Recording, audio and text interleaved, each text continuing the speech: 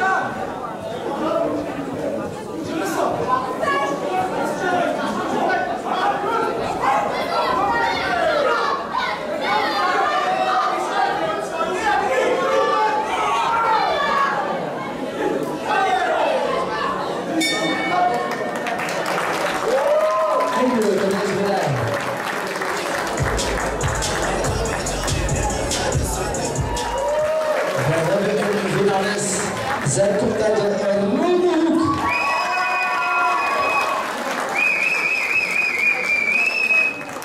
En en heren, alle foto's van dit evenement kunnen de Facebookpagina van Ringstar.